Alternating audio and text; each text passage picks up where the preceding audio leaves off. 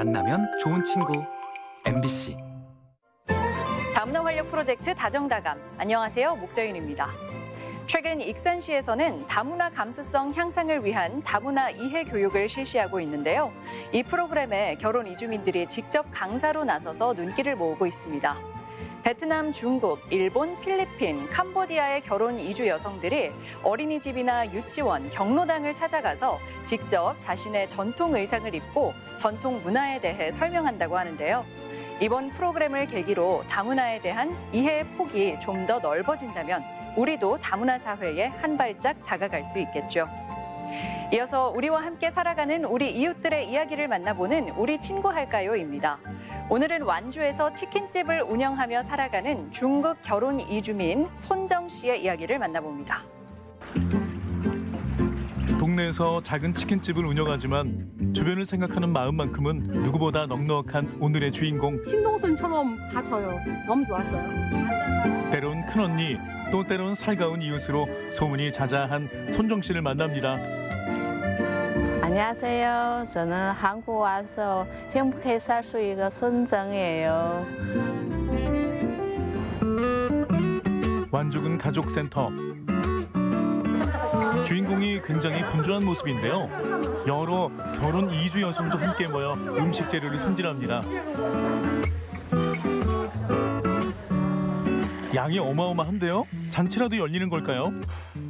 우리 다문화 센터 여기서 우리 같이 같이 음- 맛있게 음식 준비하고 또 어, 동네 가서 노인 사람이 나눠서 이렇게 할수 있어요. 중국에서 온 손정 씨를 비롯해 베트남, 캄보디아 등 여러 나라 결혼 이주민으로 구성된 자조 모임. 각 나라의 음식과 문화를 나누는 활동을 합니다. 친모유 버섯은 어, 진짜 중요해요. 예, 한국 사람이는 여름이 상해탕 먹어. 보양식으로 중국은 이렇게 탕 먹으면 보양식으로 이게 어, 좀 비슷해요. 중국에서 4대 진미 중 하나로 꼽히는 흰 목이버섯으로 탕을 끓일 준비가 끝났습니다. 떡 같기도 하고 만두 같기도 한 이것은 뭔가요? 그 큰오교예요. 중국 난주 지역에서 희섭으로 간식으로 드시는 그 뭐지? 어, 만두 그렇게 생각하면 됩니다. 세계 여러 나라 이주민들의 손이 모여 만들어진 중국 음식. 그 맛이 어떨지 궁금해지는데요. 맛있다. 일단 금어교는 표정부터 합격. 흰 목이버섯탕은 잘 끓고 있을까요? 여기 좀 어, 같은 데 이렇게 하니까 더 맛있어요. 어르신 입에도 맞을지 걱정이 되는데요. 이 정도면 어르신들에게도 합격일 것 같죠? 중국 요리는 많이 해본 적 있으세요? 저는 여기서만 해봤어요 몇 번. 그냥 좋아하는 대로는 하, 하면 되잖아요. 활동도 하고 어, 여기도 같이 도와주고 그런 거는 좀 재미있어요. 어느새 금어교와 흰 목이버섯탕이 완성됐습니다. 손중 씨와 이주민들의 나눔 활동은 이번이 처음이 아닌데요. 집수리 봉사 활동부터 코로나가 심할 땐 의료진들을 위해 도시락을 마련하기도 했죠. 본인들이 나고 자라서 먹어본 음식 그리고 여러 가지 문화적인 것들 이런 것들을 쉽게 나눌 수 있겠다 그런 생각을 했고요. 그래서 그런 거를 활용해서 지역의 어르신들에게 나누면 좋겠다 예, 생각해서 기획하게 됐습니다. 음식을 들고 지역 어르신들을 만나러 온 주인공과 회원들. 소문을 듣고 생각보다 많은 어르신들이 찾아왔습니다. 이럴 때 필요한 것은 스피드. 신속하게 음식을 내놓는 주인공.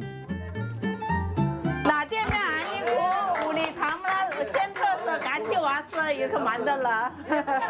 예, 맛있게 잘 먹어요.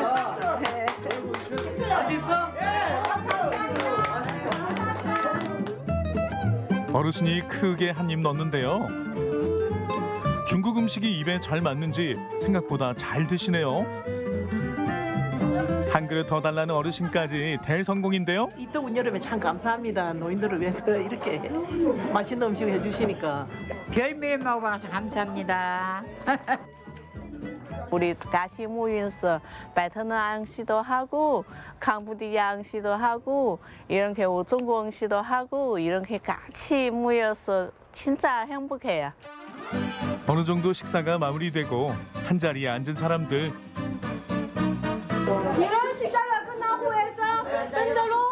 부채를 붙이면 돼요. 이번엔 중국식 부채 만들기 체험이 이루어지는데요. 중국인들이 좋아하는 붉은색 문양을 오리고 붙여서 나만의 부채를 만듭니다. 와요, 어르신들의 가위질을 돕는 선정 씨. 틀렸어요. 어떡해요? 모양이 좀 달라지면 어떤가요? 어르신들이 즐거워하니 그걸로 만족. 날마다 와주세요. 날마다. 이거 지어 갖고 와서 다 이게 현준이라고 얼마나 이뻐. 나 가서 엄마 맨날 나 요리해줘. 나 요리 한 번도 안 해줬어요. 에이, 진짜 마음이 좀 그랬네. 한번 고향 가서 엄마 요리 좀 많이 해줄 거예요. 활동을 마치고 집으로 가나 했더니 어딘가로 향하는 주인공. 여기서 치킨집 장사하고 있어요. 2007년 남편과 같은 사무실에서 근무하던 사촌 언니의 소개로 남편 선진 씨를 만나 가정을 이룬 손정 씨. 온갖 아르바이트를 하며 생활비를 보태는 생활력 강한 아내를 위해 7년 전 남편이 마련해준 소중한 가게입니다. 장사 잘 될 수 있어, 안 잘 될 수 있어. 코로나, 코로나 터져서 좀 힘들었어요. 저녁 식사 시간이 가까워지자 하나 둘 찾아오는 손님들. 치킨! 알았어. 이모 맛있게 치킨 줄게. 손님들이 맛있게 먹는 모습만 봐도 배가 부르다는 주인공.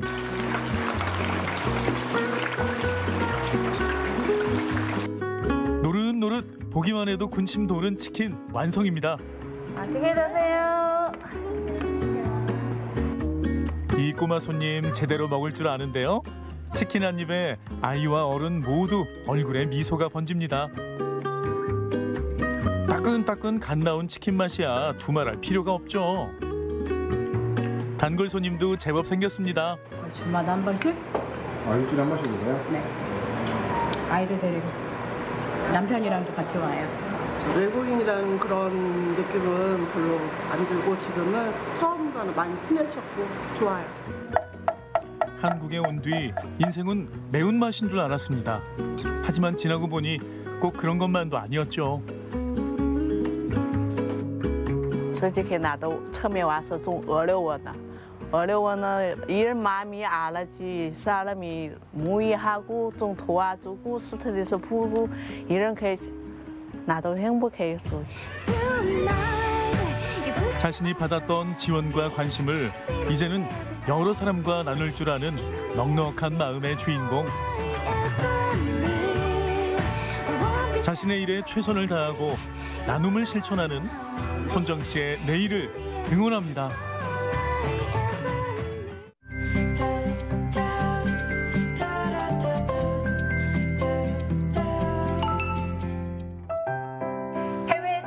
다문화 가족들의 영상을 통해서 이들이 살아가는 이야기를 소개하는 랜선 다문화 가족 시간입니다.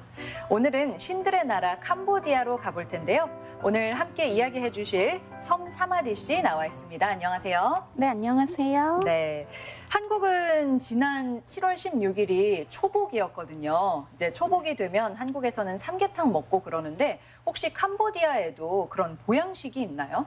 네, 저 캄보디아에서는 따로 뭐 한국처럼 초복, 중복, 말복 없지만 다만 캄보디아 사람들이 날마다 드시고 계신 음식들이 네. 보양식이지 않을까 싶은데요. 왜냐하면 한국 방송 통해서 그 캄보디아에서 날마다 드시던 어, 야채나 재료들이 한국에서는 다 약, 그 약재로 사용하시더라고요. 네, 약재로. 그래서 어, 캄보디아 분들이 날마다 드신 음식들이 이제 그게 보양식이 있지 않을까 싶은데요. 네, 대체적으로 좀 건강하게 드시는 편인가 봐요. 네, 맞습니다. 네. 자, 오늘 캄보디아에 대해서 이야기를 또 나눠볼 텐데, 이번에는 캄보디아에 계신 분을 또 연결해서 이야기 나눠보도록 하겠습니다. 정상훈 씨, 안녕하세요. 예, 중립수 네, 수입니다. 캄보디아에서 다문화 가정으로 일남 일녀를 두고 살고 있는 정성훈입니다. 반갑습니다. 네, 반갑습니다. 네, 맞습니다. 성훈 씨, 지난번에는 부모님이 이제 한국에서 어, 캄보디아로 오셔가지고 같이 여행하는 영상 보여주셨는데, 부모님은 한국으로 네네. 다시 돌아가신 상태인가요? 네, 지금은 돌아가신 상태예요. 한 한 달 정도 네. 캄보디아에서 머물렀습니다. 음, 벌써 시간이 그렇게 흘렀군요. 뭐 좋은 시간 보내셨으리라고 생각이 드는데 이번에도 지난달에 이어서 성훈 씨가 부모님과 함께 캄보디아 여행하는 영상을 준비하셨다고 하거든요. 지금 함께 만나보시죠. 자, 이제 복고산 들어갑니다. 요 입구에서는 또 네, 기념 촬영들 많이들 하고요. 하늘이 굉장히 맑네요. 네. 얼마예요?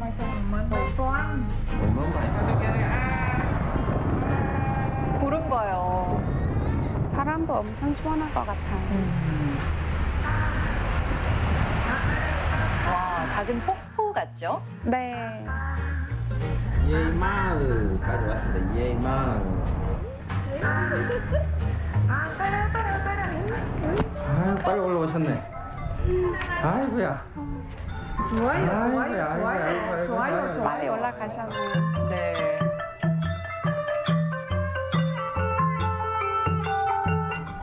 어, 확실히 관광지 느낌이 나는 것 같아요. 여기 가보신 적 있으신가요? 네, 저도 가보았습니다.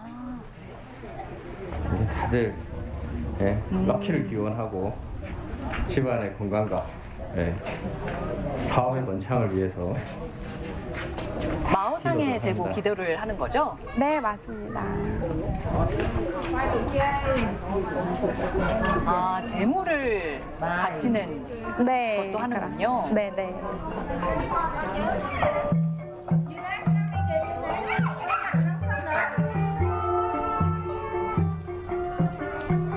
근데 크기가 굉장히 커 보여요.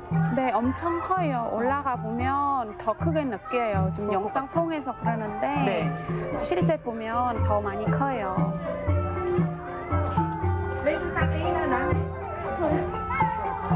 네, 이렇게 기도를 올리는 모습들이 보입니다. 많은 도움을 바라는 그런 기도도 하겠고요.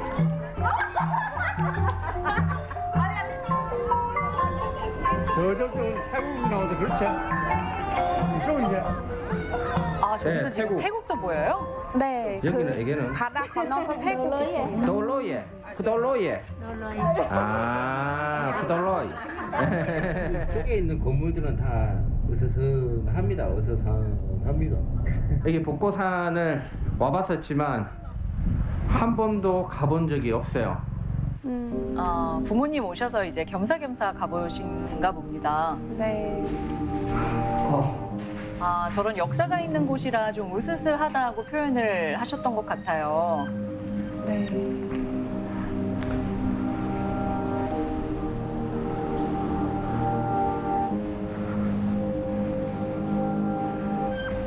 아무래도 관광객들이 한 번씩 찾아가는 곳인가 보죠? 네, 맞습니다. 기도하기도 하고 힐링하기도 하고. 아버지, 보이세요?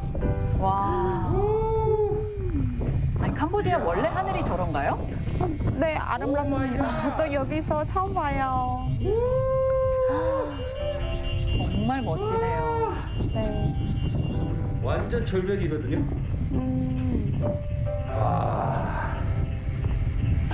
저 가봤는데 거기까지 못 가본 것 같아요. 아, 저기까지는. 네, 끝내줘. 네. 예, 끝내줘. 와.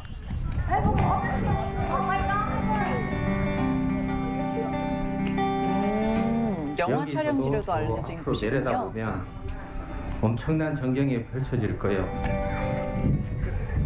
와, 가는 곳마다 정말 아름답네요. 네.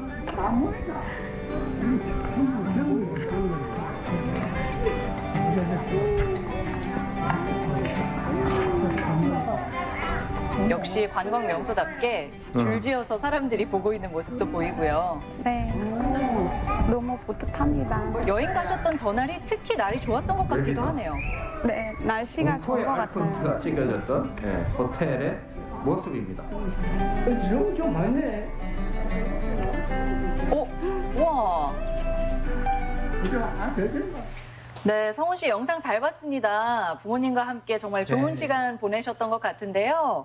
와, 네네. 저는 사실 캄보디아라고 하면 가본 적이 없기 때문에 그냥 뭐 앙코르와트 이 정도만 네. 떠올리곤 했는데 굉장히 아름답네요. 지금 네. 처음으로 정말 한번 가봐야 되겠다라는 생각을 진지하게 해봤거든요. 네. 그런데 이제 복고산 소개를 해주셨는데 여기가 어떤 곳인지 좀 더 설명해 주시겠어요? 예, 복고산은 캄보디아의 서쪽에 위치한 깜포시라는 휴양 도시에 위치해 있어요. 네. 해발은 한 1,100m 정도 되는데 캄보디아는 유독히 산이 별로 없거든요. 네. 그래서 그 중에서도 상당히 높은 산에 속하고 1993년에 1993년에 국립공원으로 지정이 되었습니다. 어, 그리고 지금 현재는 캄보디아 대기업인 소카그룹에서 지금 현재 그 휴양지로 계속적으로 개발을 진행 중에 있는 곳이고요. 네. 이쪽 깜꽃을 여행하는 여행객들은 거의 필수 코스로 음, 여기를 맞아요. 꼭 들렀다가 가는 예, 유명한 예, 휴양지입니다. 네. 어, 앞서 잠깐 제가 질문을 드리긴 했지만 사무다 네. 씨도 이 복고산에 가본 경험이 있으신 거죠? 네, 맞습니다. 저도 가봤어요. 언제 가셨어요? 어, 지난 2019년에 가족들이랑 여행 갈 때 그때 들렸어요, 저도. 어, 그때 어떠셨어요?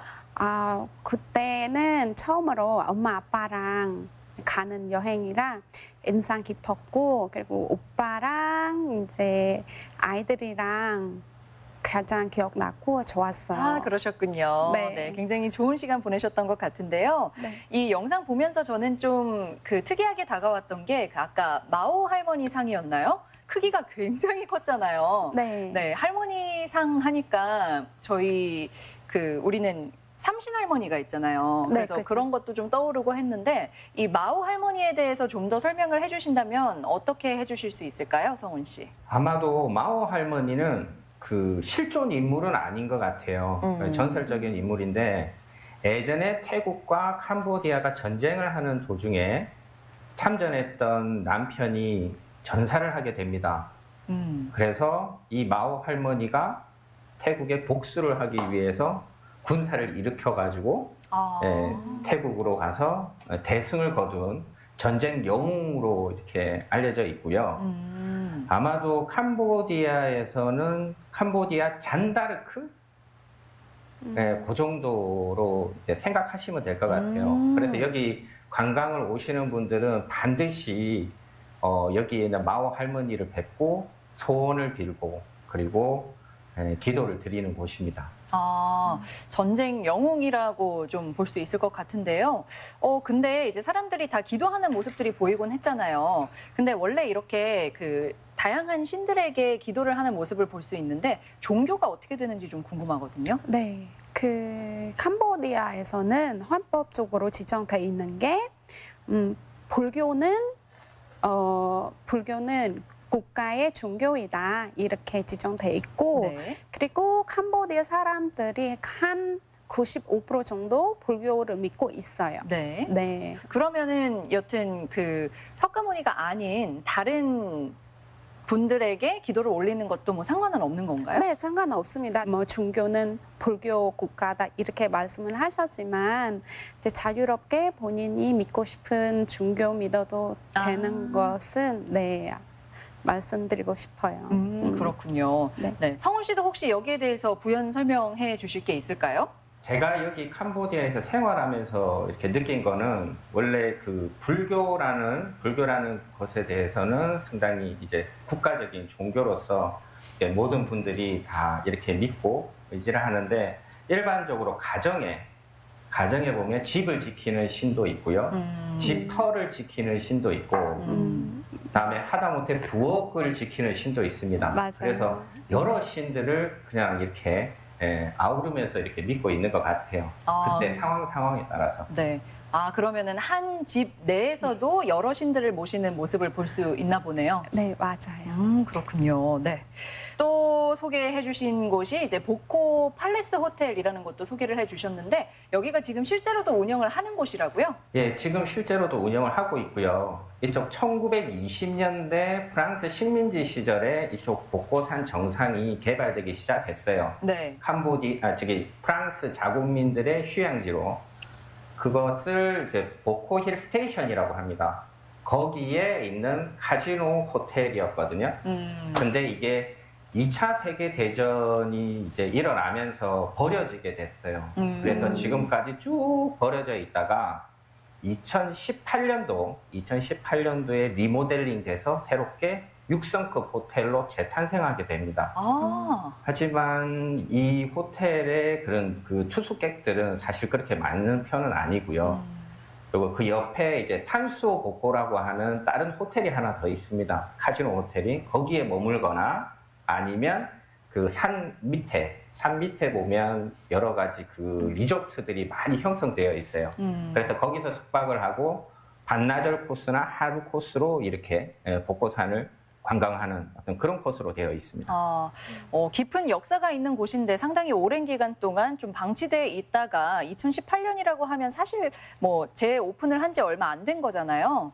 그래서 또 앞으로 네네. 많은 사람들이 더 찾지 않을까 하는 생각도 드네요. 네, 맞아요. 네, 이렇게 오늘 성훈 씨가 보코산을 소개해 주셨는데 사마디 씨가 보시기에는 아 우리 캄보디아에는 여기 말고도 굉장히 좋은 곳들이 또 있어라고 소개할 만한 명소가 또 있을 것 같거든요. 네, 정말 많습니다. 근데 여기서 제가 한 가지 한 지역에 말씀드리고 싶으자면은 문돌길이라고 하는데요. 네. 문돌길이 그곳에서 이제 옛 캄보디아 역사도 있고 그리고 거기서 어, 산도 많고 네. 호수도 많고 어, 더구나 자연스러운 자연스러운 폭포가 있어요. 아. 그리고 거기서 소소민족 지금까지도 살고 있거든요. 네. 그래서 그곳에 가 보면은 더 재미있고 맛있는 먹거리도 많고 어, 좋은 음, 곳에 있지 않을까 싶어서 소개하고 싶습니다. 어, 네. 특히나 소수민족들이 모여서 사는 곳이라면은 굉장히 네. 독특한 다양한 문화가 한 번에 볼 수 있는 기회가 되겠네요. 맞아요. 음, 네 네. 잘 기억하고 있겠습니다. 네. 네. 어, 성훈 씨, 이제 우리가 코로나19도 좀 완화되고 하면서 사람들이 여행을 점점 더 하고 있는 것 같은데요. 캄보디아 여행을 앞두고 있는 분들에게 뭐 전할 수 있는 팁이 있다면 뭐가 있을까요? 사실 지금 캄보디아는 동남아시아 내에서는 코로나 청정 국가였어요. 네. 그래서 감염률도 가장 낮았고 그리고 이쪽 주변에서는 어, 백신 접종률이 90% 이상은 가장 먼저 했던 나라기도 합니다. 아. 그래서 입국 시에 사- 그렇게 까다롭거나 하지는 않아요. 최근까지는 백신 접종 확인서만 있으면 캄보디아를 자유롭게 입국할 수 있었는데 오늘 7월 11일부터 오늘 7월 11일부터는 백신 접종을 하지 않았다 하더라도 공항에 도착하셔가지고 신속 항원 키트에서 음성만 넣어주신다면 언제든지 들어와서 여행을 할 수 있는 아. 그런 나라입니다. 네, 네. 더 완화가 됐군요. 네네. 네.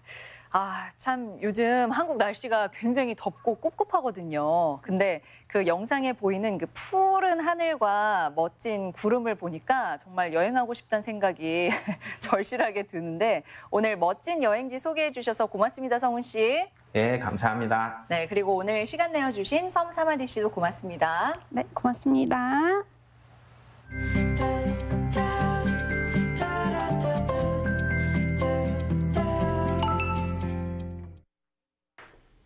순창군이 코로나19로 그동안 추진하지 못했던 결혼 이민자 모국 방문 사업을 재개해 모집 신청을 받은 결과 17가정이 선정됐습니다. 나라별로는 베트남 7가정, 필리핀 5가정 등으로 대상자들은 연말까지 가족과 함께 출국해 모국에 머물며 혈육의 정을 나누게 됩니다. 지원 금액은 한 가정당 400만 원 이내로 왕복 항공료와 현지 교통비 등이 포함됩니다.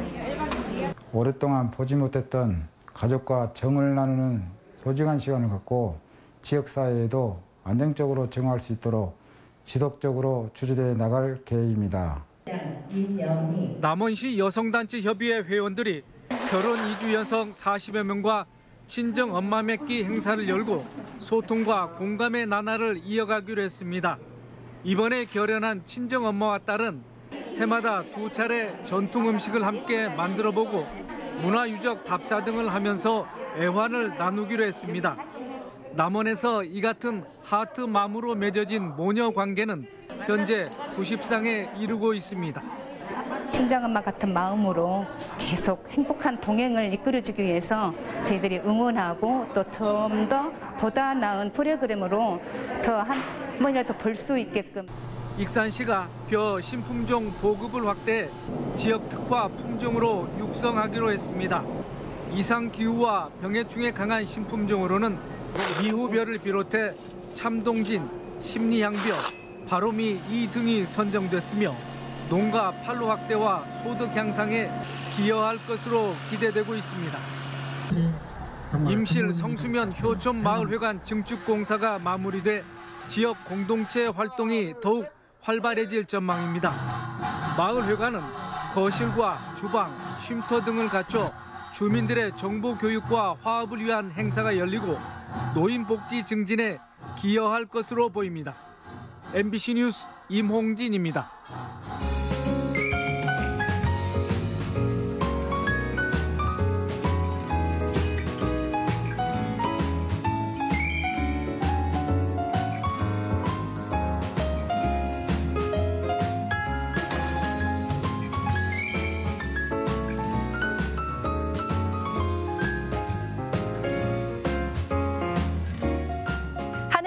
조금씩 열리면서 결혼 이주민들에게 고국을 보내주는 고향나들이 프로그램이 도내에서도 접수를 받고 있습니다.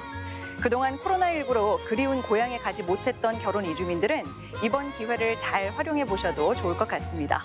보다 자세한 사항을 알고 싶은 분들은 각 시군에 있는 가족센터로 문의하시면 됩니다. 다문화 활력 프로젝트 다정다감 오늘 준비한 소식은 여기까지입니다. 함께해 주신 여러분 고맙습니다.